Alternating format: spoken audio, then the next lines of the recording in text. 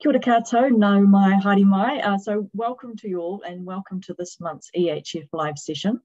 Edmund Hillary Fellowship is a collective of entrepreneurs, scientists, storytellers, creatives, investor change makers who want to make an impact globally from Aotearoa, New Zealand. Now this session is part of a series where you'll hear from Scott Kabat, an EHF fellow who is an experienced operating executive and entrepreneur with a track record of building customer friendly mainstream brands to compete in historically unfriendly categories. His experience includes subscription businesses, marketplaces, healthcare, Internet of Things, and consumer packaged goods. So in this session, we're going to be focusing on building a marketing team where Scott shares his insights on the when, who, how, and where things can go wrong. And last month, we were looking at brand positioning, where Scott shared his insights on why it matters, how to approach it, and best practices. And you can see all of his sessions um, in the recordings on our website. And there's going to be plenty of time for Q&A with Scott during the 60-minute session. So note these are informal sessions. They are planned in a way that you leave here after 60 minutes, that you know the fellows and on a sort of personal level so that you can understand what their intentions are here and you can connect with them directly. Now, stay on muted unless you're going to ask a question. You can either put the questions in the Q&A, but as we're a nice small team, you can actually raise your hands and ask those questions. Over to you, Scott. Thanks, Michelle. By the way, it's Cabot, but it's commonly mispronounced, so it's quite uh, quite all right. Nice to meet everyone. I'm glad we have a small group. It'll make for good discussion. Uh, thank you, everyone, for joining. Uh, let me hold on, let me share my screen real quick. Course I lost that. Where the heck are you?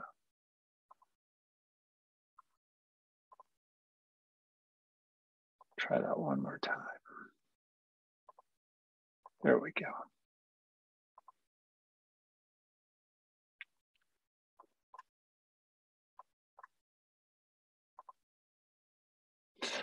Everybody able to see that? Great. So, hey, look, uh, I, I, have uh, a few pages here. What I was telling Michelle before we start that uh, these uh, questions about building a marketing team and startup startups are there's never one right answer. You'll probably come out of today with more questions than answers. Um, so my my goal is not to tell you the one definitive right way to do it. Is more just to um, to empathize with the fact that it's difficult and also to give some uh, general principles and guidelines to think about as you navigate this process. So I have a few uh, pages to share based on my past experience as a CMO and now as a consultant and advisor to many early stage companies. Um, and then uh, we've got a lot of time for Q&A. Feel free to interrupt me along the way if you have questions. Uh, Michelle said, just raise your hand or throw it in the chat. And then uh, we, we should also have plenty of time at the end. Okay, so um, just quick flow of this. I'll do a, just a very brief introduction and and to um, you know into my background. Talk about the challenges of building a marketing org, uh, and then I'll break down a little bit of you know why is it important, when should you do it, how do you think about going about it. Um, so just very quickly on my background, I think we, this is the third of these workshops, but I think most of the folks we have today are, are first timers, which is wonderful. Um, you know, early in my career, I was management consultant and uh, cut my teeth in consumer packaged goods, where I learned the fundamentals of marketing. Um, a lot of time in uh, consumer tech with some B2B to C also across a range of categories. Um, always this kind of this dual focus of likable brand and unlikable category, uh, as well as uh, very focused on building scalable revenue engines. Um, I have uh, I've worked in various stages from co-founding companies to coming into startups when they're going into growth mode to uh, working at very large companies like Cisco. So I, have seen this uh, um, these marketing org questions manifest themselves at various different stages of growth. Um, and then, yeah, finally today, so I, I live in uh, the US in the Bay Area. Um, founded uh, 621 five years ago, which is a, a marketing consultancy. We're a community of fractional marketers who we plug into startups and private equity backed businesses, whether they're fractional CMOs or boots on the ground help and demand gen, brand content, et cetera, to help companies build the pieces to uh, to scale their go-to-market engines. So, um, just setting the stage for diving into these questions about the the uh, when when and how to build a marketing org. I wanted to go from the fifty thousand foot level down to ten thousand. Um, and so just wanted to hit uh, first of all highlight like what, what are some of the big challenges in getting marketing right because you see a lot of companies struggle with it um, early on, one of the, the common issues is around focusing too narrowly on the go to market engine. Actually, like going narrowcast for picking a market segment. But what often uh, happens with early stage companies, and we talked about this in one of the prior sessions, is you get kind of addicted to the drug of paid marketing and Facebook, Google alone. And, and those are wonderful, efficient channels. I like them a lot for converting the mid funnel. I like them as environments for testing messaging and audience. They aren't great for building organic momentum, and you will hit a point of diminishing returns on them. So it's really important to look beyond those alone and also to think about retention and loyalty and long term value of your customer base. Um, so that's one. Another is, oh, whoops, I went too fast. Brand confusion. Uh, you know, super important to make sure you're really clear on target market. How do we consistently uh, message and position ourselves to that crowd? How do we make sure our customers understand what we're about and why we're here? Um, so consistency becomes really important there. And you know, the risk in trying to go too broad here is you end up trying to be all things to all people um, which you know even for startups that aspire for world domination as most do um, you have to start narrow early on. So i, I think that um, developing the discipline about re- being really tight on who we are why we're here and what we want our brand to be is really important. And then finally is this question of the team. And uh, look you see this a lot where CMOs are cycling in and out of marketing roles. Um, you know, you see a lot of misfires in marketing hiring, um, or you know, a lot of consternation. Like, hey, we're we're we're paying for this marketing team. They're a cost center. Is that really working? Um, and so there's a lot underneath that, right? Sometimes you just got the wrong team for this stage of growth, or there's this mix between digital and analog doesn't work, or we've got people who are too senior, too junior.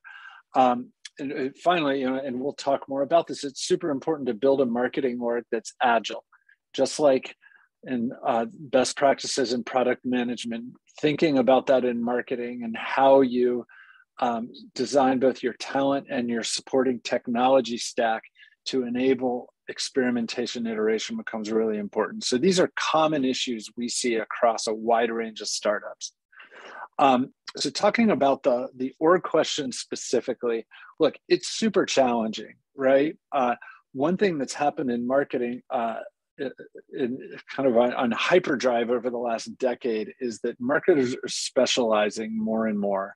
Um, you could put out a job profile for a marketing role and have a thousand candidates and they literally could have a thousand different specialties right so understanding how to navigate that this is something we see very common in, in early stage startups particularly with founders who are very product and engineering driven um, that you know, not having that that uh, Rosetta Stone for how to translate all these different marketing specialties becomes really challenging. Um, now, in other cases, like you can get it right and the business changes, and six months later, it's like, hey, we've got this marketing team, but we don't have the right team for the next stage of growth. Um, and the last one is kind of an amalgamation of a few ideas, which is um, particularly for startups, you, it, it's not at all uncommon to look at marketing as a cost center. Like, hey, these heads and and their budget are cutting into our profitability um, marketing's ambiguous, ambiguous by nature. There's rarely one right answer. So, you know, combine those two, it cre- can create a really complex situation that's tough to navigate. So, I've talked about why it's a big problem. Let's talk, let's talk about why it's important. Um, first of all, I, I think that, uh, and this is, I, want to talk uh, just to contextualize this. This isn't so much why marketing at all. I want to think about it in the context of marketing in the early stages of a startup and and how you ought to be thinking about starting to build that muscle. Um, first is look it, it, one thing we see a lot um, with a lot of tech startups is it's very tempting to have kind of a, a product out mentality. Here's what we're able to build. Now let's go sell it. And I, you know I I feel pretty strongly that that's a, a, risky and not very successful way to build a business.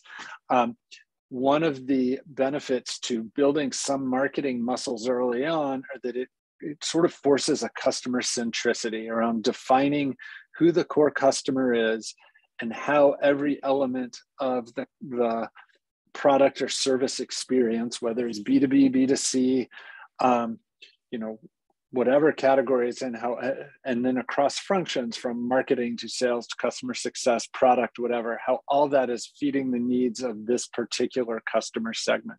So building that kind of muscle early on yields benefits outside of marketing alone over time. Secondly you know we, we just touched on this. It's incredibly important to start to test and iterate on who the right audience is, what's the right message, what's the right way to convert them, what's the right way to move them through our funnel, and building some cadence and some good process hygiene, not just in product development, but also around experimentation and marketing. The sooner you start to do that, the sooner you'll be able to course correct, validate assumptions that are wrong, and get data that you can then bring to bear to make your team smarter. And then finally, you know, look, everybody's after this idea of hockey stick growth. And I, I think that the importance of um, starting to seed the machinery for your organic flywheel can't be understated, right? And this is back to the point there's only so far you can go in buying your way to growth through Google AdWords, for instance. Um, it takes time to build a brand, it takes time to build advocacy and word of mouth. And so the earlier you start to uh, put the machinery in place to unlock that virality, the more, the sooner you'll get to the point where you start to unlock that hockey stick of virality. Then there's question of when. You know, I have this analogy I use a lot around where how marketing evolves through the life stage of of startups. You know, early on, and, and this is I don't think specific to marketing at all. Early, it's very common to have a team of Swiss Army knives. Like these are people who are utility players who can do a little bit of everything, right? They can run Google ads, they can come in and, you know, if you need them to put product samples in envelopes and get them out the door, they can do that. If you need them to you know help find office furniture for the new hires. Like these are people who can do a little bit of everything and are really critically important because they're also the keepers of the culture early in the startup. You, you don't need me to tell you that. I would say when it comes to marketing specifically you're looking here less for uh, people who are deep functional experts in any one discipline of marketing but that they can more that they can speak the language across different marketing needs whether it's the quant side of you know running some online ads or writing a press release or working with the product team and a launch plan for a release. They can do a little bit of everything. Then over time as you start to grow you transition from the swiss army knives into scalpels right? Like okay we need someone who's awesome at email who can do that all day long.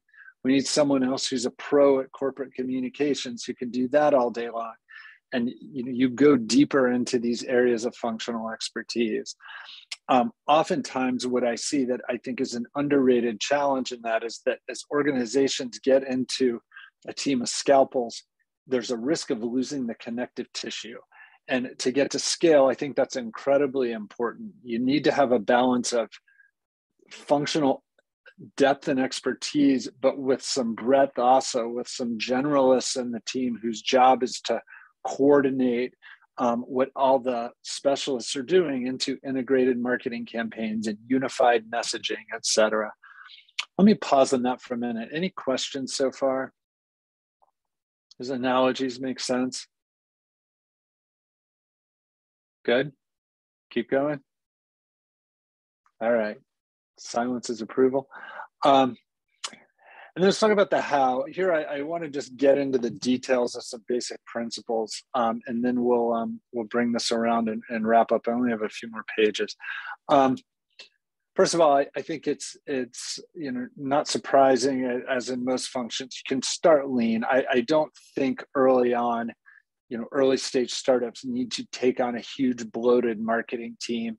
Um, you'll see. I'll share some uh, sample org charts in a minute, and you'll see one of the one of the interesting points is I like I, I find sometimes startups um, get a product into market, they get some initial traction, maybe raise an equity round, and then the mandate is like, okay, let's start marketing. Let's go find a CMO. And usually my message at that point is you don't need a CMO yet, right? You really want a mix of doers and player coaches. So I think there are ways to do this that enable, and we'll, we'll get deeper into this in a minute, that enable you to to build the machinery while also staying true to the idea of building a lean org. So generally, I think it's important that you need at least one person who's a generalist who can keep the trains running on time and, and mesh the machinery together and play that Swiss Army knife role. I think you need one or more people who are going to instrument the basics around the digital funnel to make sure that you're capitalizing on whatever interest you're creating and also you know building out as i mentioned that process hygiene around experimentation iteration. Uh, there are wise ways to leverage contractors and agencies and you know full disclosure that's a little bit of what i do right now not as an agency but with a team of fractional operators but there are some watchouts and i lived this as a cmo myself um, i think it's really important to be force yourself to be as precise as possible on what's a must and what's a want, especially with hiring agencies. A lot of agencies will offer that, you know, we can do this and this and this and this. Yes, we can be your one stop shop for everything. More often than not, they have one or two sweet spots that they're really great at, and they're not so good at the other stuff. And so I would just be really sure that the if you're bringing in an agency that they're the best for the number one must that you have that you absolutely have to get right. Um, I'm personally, I'll reveal, you know, my bias is this is exactly what we do at 621 is just a big believer in the embedded model of, you know, whether it's a contractor, an agency or whomever, you want them to operate as an adjunct member of your team as opposed to just a service provider. Um, you know, it is early stages of a startup, like buy-in and engagement to what the company is trying to do are, are incredibly important. And it will amaze you even with um, direct marketing you know companies that will run your could run your facebook or google ads for you how much artistry can go into their attribution and their their tracking. So you really want to make sure that these people are, are working as a part of your team and invested. All right wait i just saw something pop up in the chat. Let me see um, Stephen asked a question. How do you evolve from early into next stage into the next stage where you're a bit bigger, maybe 30 employees, or further on once you've been around for a decade? What can a stable, like a seven-year-old company learn from these principles? Oh, you have to leave a little early. Got it. Okay.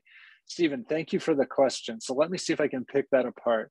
Um, yeah, so the first part about evolving to when you're 30 employees in a way that's scalable.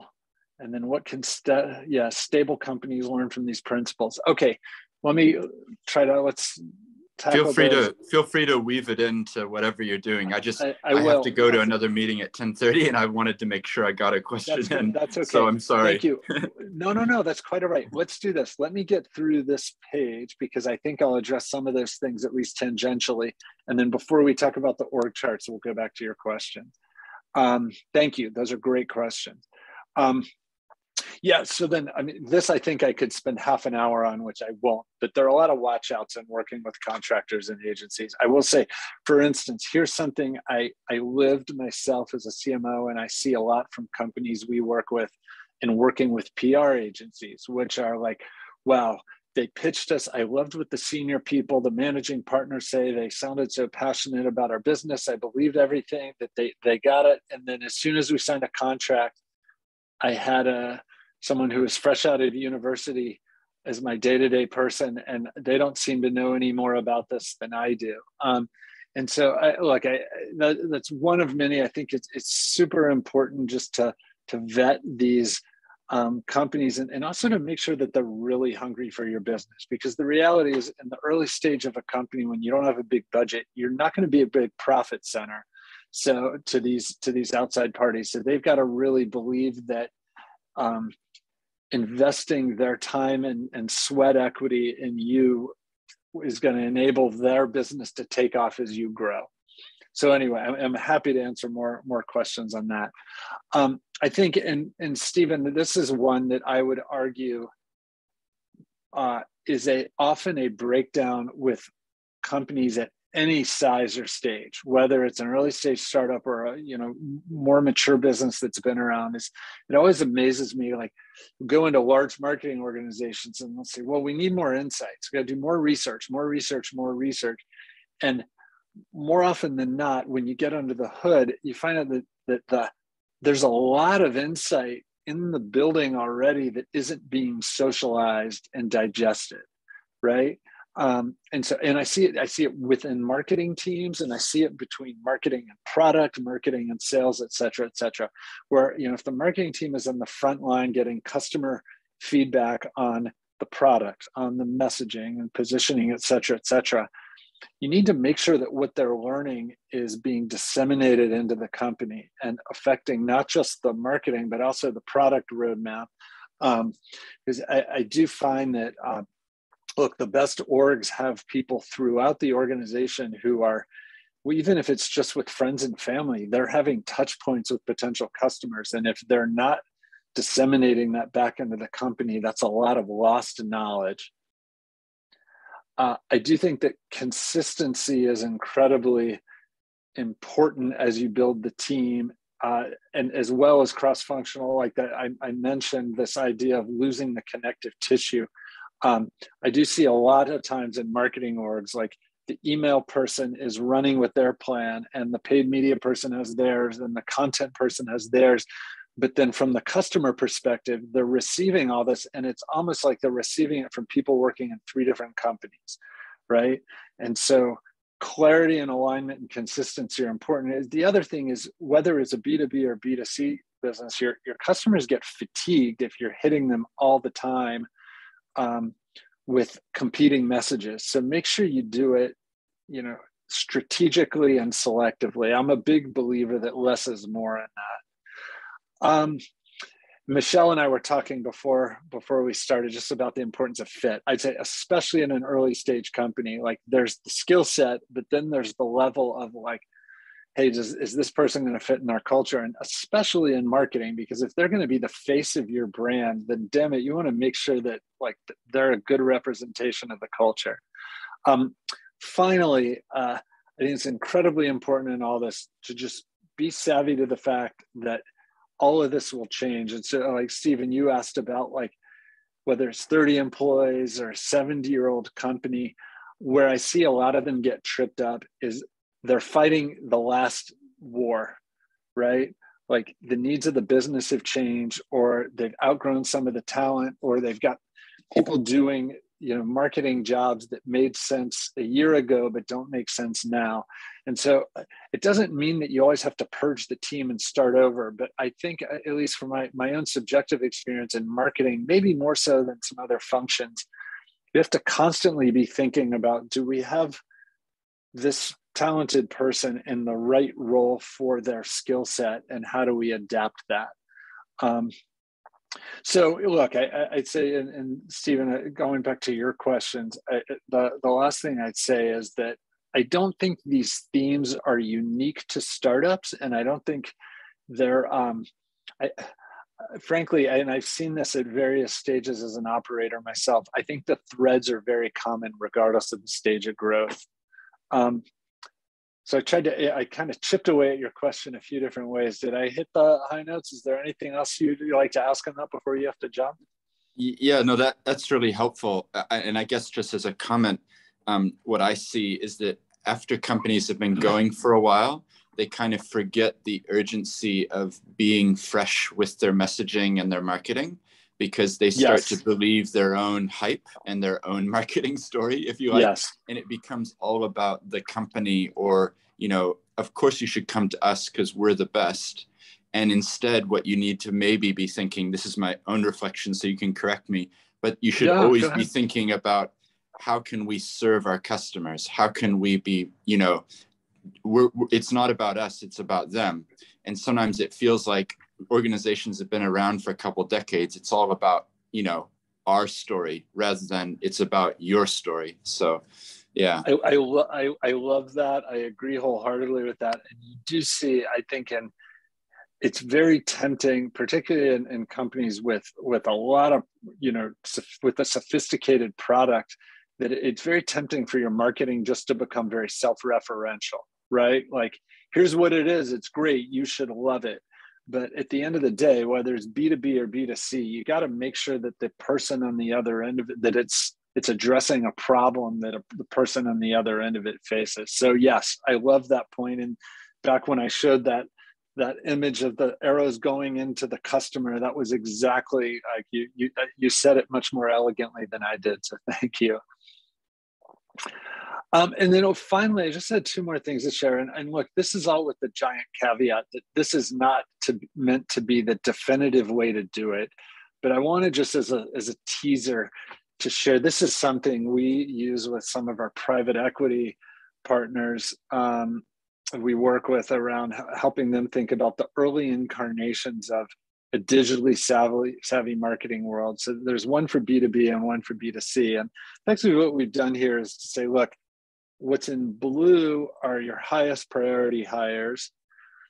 Gray probably comes next, and then the one with dots, you, you'll if you keep growing, you'll probably hire eventually, but they might be places to start with contract resources, right? And so what you see here in B2B is making sure that early on you're building two muscles, that kind of generalist corporate marketing muscle um, and the the digital the the efficient demand gen and digital one and so those become the places to start. Now you'll note both here and on the next page as i mentioned earlier you don't see the cmo or vp of marketing as the very first hire.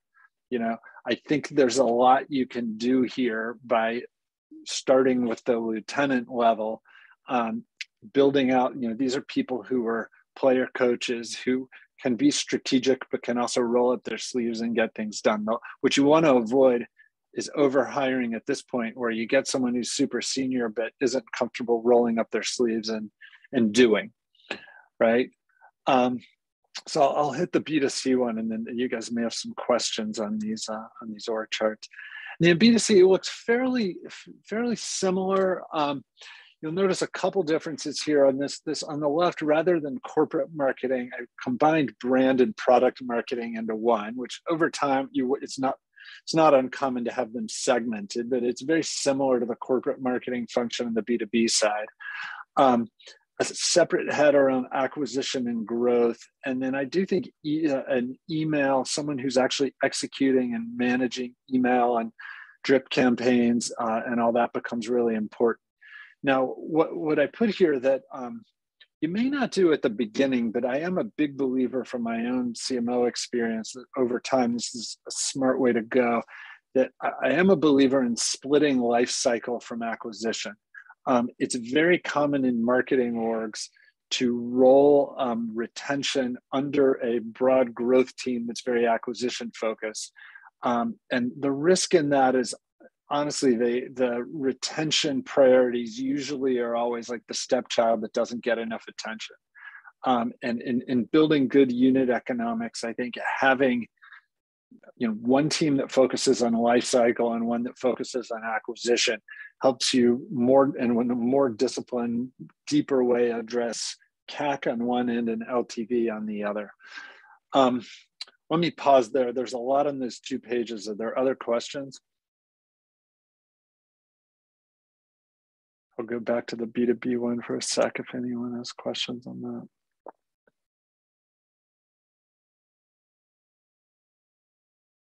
You see, content potentially you can do through a contractor early on too. You know, just what, I, what we're trying to get at here is a little bit of the sequencing you go through of like, there's probably a first wave of hires, then a second wave, and then a third.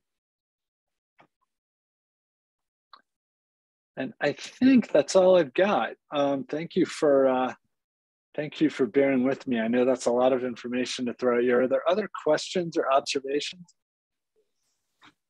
Which of those um, would be okay to actually have like quite disjointed from if your current team's in New Zealand, which ones would be okay sort of culturally to fit maybe up in the US or wherever a country is um, exporting to? Yeah, it's a good question, Michelle. I um, I mean, I think I won't answer it as specific to New Zealand. I, you know, what I, but what I would say in general as it and i didn't get into this as much here because we're you know i was thinking more through the lens of early stage but um, it is important as the you know the organization grows and as a, a business is doing meaningful business across markets that there's that kind of the balance of centralization versus local customization, right? Like I, was talking to a business, yes, a SaaS business yesterday that's based in Australia that's very much into product-led growth, and they're having a hard time getting that model to translate into the US, right? And so I think that it's not to say that you have to have boots on the ground in every single market that you're in, but I think it's incredibly important to be sensitive to the cultures of the markets you're doing business in and understanding how the go-to-market model um, needs to vary. Um, when it comes to PR and communications, you very often do need local resources who who know the press and know the communication channels, et cetera, et cetera. Um, and, uh, yeah, and then you know, look, I, I, I will say that the degree of digital savvy and focus and you know focus on um, you know acquisition marketing versus brand marketing can vary by market but ultimately i'm, I'm of the mind that you know as, as a startup grows they're going to need a balance of those regardless. Nice. Okay madeline do you have a question? Yeah yeah. I had muted you madeline. Sorry because there's a lot of background noise there. Sorry about that. I preemptively unmuted myself.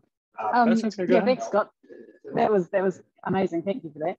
Um, my question is possibly twofold but they might be sort of connected. So you, you talked yeah. um, early on about sort of building this machinery for organic um, sort of growth, I guess, and, and, kind of that, that flywheel. Are there yeah. any specific roles that you think are really critical to that early stage in the context of B2C?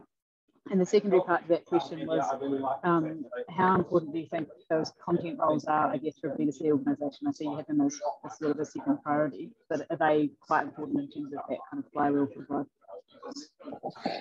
Thank you, Matt. I appreciate the question. So let, let me make sure I heard. So the, the first one is about um, building the organic flywheel in B2C, and the second is about the role of content in B2C. Did I get that? Yeah, exactly. Okay. And I'm wondering Great. if those are connected. Yes. Um, well, so on the organic flywheel, you you hit on uh, one of the things we touched on in our last workshop, which is one of my like things I hold very near and dear as a as a B2C person by background, is that um, I think there is an, a big opportunity to have your early customers really be the face and mouthpiece of your brand, right? And um,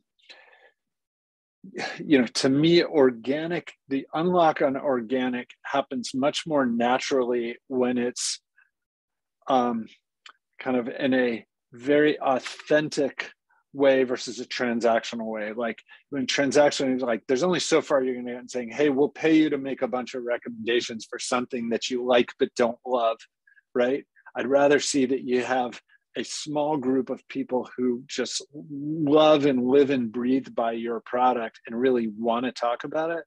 Um, and so, you know, whether it's putting them on your website or building uh, testimonials, case studies, um, you know any opportunity for them to kind of like I, I, I have a very mission driven D2C business. I was worked with a lot over the last couple years. They do like all their Facebook ads are basically just showcasing stories from their existing customers.